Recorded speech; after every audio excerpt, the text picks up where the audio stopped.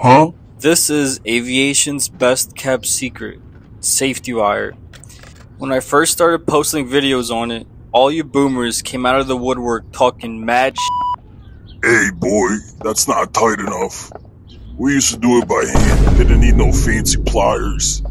If I was QC, I would cut that and make you do it again. Oh, my bad. I forgot in your day you didn't have FAA regulations. I'm Huh? making videos for students trying to get their A and P, the ones who want to learn it right, pass their tests, and walk in the hangar ready. Because here's the fact this industry doesn't just need more mechanics, it needs people who take pride in doing it right.